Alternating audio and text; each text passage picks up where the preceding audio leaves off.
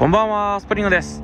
私は今、兵庫県姫路市、ここは、山陽新幹線の姫路駅と愛用駅の間になります。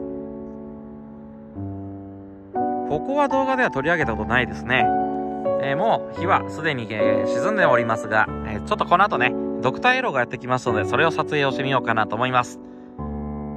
大体山陽新幹線でね、結構防音壁が、え結構邪魔で撮りにくいんですけども、この区間はね、このように、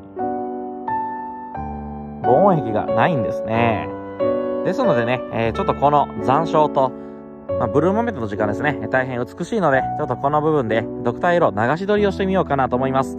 空がね、とっても綺麗ですので、ちょっと、この空をね、大きく入れてドクターイエロー撮ってみたいなと思います。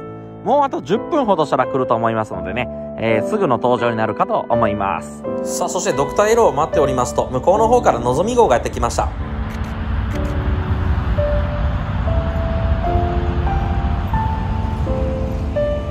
いや、このブルーモメントの中を突き抜ける新幹線はかっこいいですね。写真はちなみにこんな感じになりましたよ。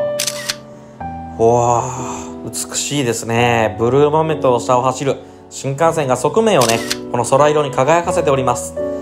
いやー、いいのが撮れました。これはドクターエロも期待ですね。いやー、綺麗ですね。いや、本当にこの時間、冬場はね、このブルーモンベトが美しい時間です。いや、さっきの L700S でしたね。なかなかかっこいいのが撮れましたよ。ドクターエローも期待ですね。さあ、そしてドクターエローが通過する時間になりました。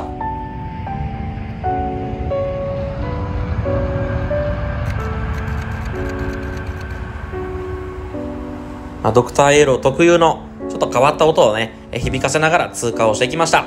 先ほどより少しね、暗くなったんですが、まあ、これはこれでね、えー、ドクターイエローの側面が黄色いということが分かって、いい写真が撮れたんじゃないかなと思います。さあ、さらに暗くなってきましたね。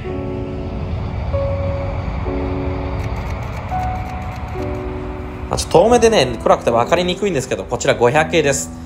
博多に下る分ですね。というわけで、こちらもね、撮っておきました。いやー、もうなんか、いいですね。もう冬はこれが一番美しいなと思います。こちらね、ちょっと動画撮り損ねたんですけど、レールスター編成になります。いや、ほんの少しだけの撮影でしたけど、美しいですね。星も輝いていますよ。一番星、二番星ですか。いやー、いいですね。いや、こういう日常もね、やっぱり綺麗なところいっぱいあるので、えー、綺麗なのは風景だけじゃないですね。日常も探せば、こういう美しい姿があるので、またこういうのを見つけて撮っていきたいなと思います。というわけでご視聴いただきありがとうございました。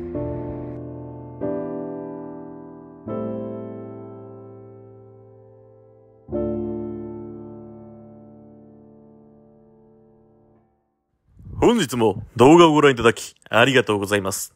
こちらのチャンネルでは鉄道写真をテーマにした動画を投稿しております。動画がいいなと思われた際はチャンネル登録、高評価、コメントをよろしくお願いいたします。過去の動画もぜひご覧ください。